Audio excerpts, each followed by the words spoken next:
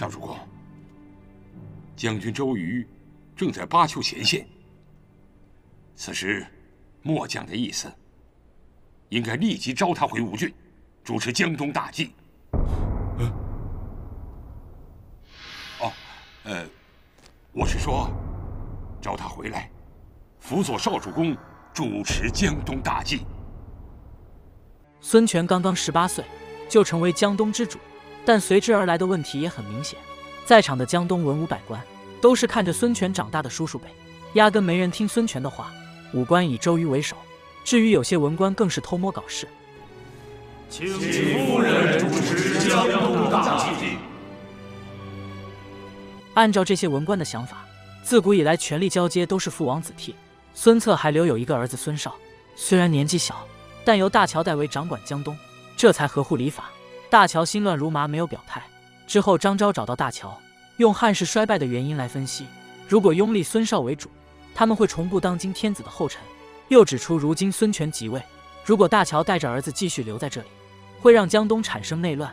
此时，大乔想起孙策一命，心中已有打算。另一边，周瑜正在带兵打仗，接到孙策去世的消息后，急忙回城奔丧。而此时的孙权。摸着江东兵符，满脸凝重。禀少主，上将军周瑜回城奔丧了。带来多少兵马？周将军进城的时候只有单骑匹马。知道了。听到周瑜孤身返回，孙权这才放下心来。一见到孙策灵位，周瑜当场泪如泉涌。男儿有泪不轻弹，只因未到伤心时。周瑜伤心欲绝，哭成一个泪人。孙权却在旁边冷眼观看。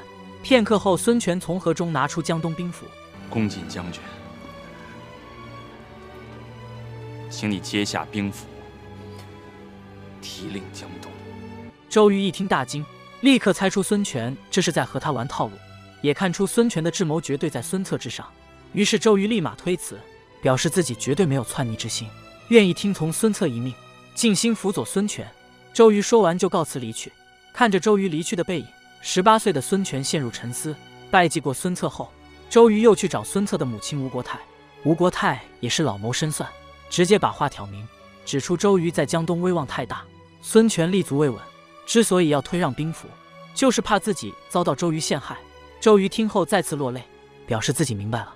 接着，周瑜带领所有武将，在孙策的灵位前立下誓言：禀先主公，在下周瑜，率程普、黄盖、韩当。祖茂，并率三军将士，在主公灵前立誓，同心同德，扶助少主，生死无悔，永固江东。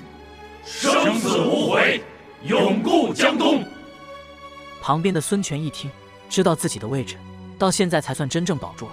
而大乔被张昭一番话打动，知道自己留在江东只会妨碍孙权，便抱着儿子乘船离开。几天后，被评论区点赞最多的大哥收养，从此过上了幸福快乐的生活。